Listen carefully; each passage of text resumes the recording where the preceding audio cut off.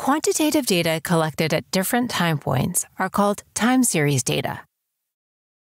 For example, consider the increase in water temperature when heated.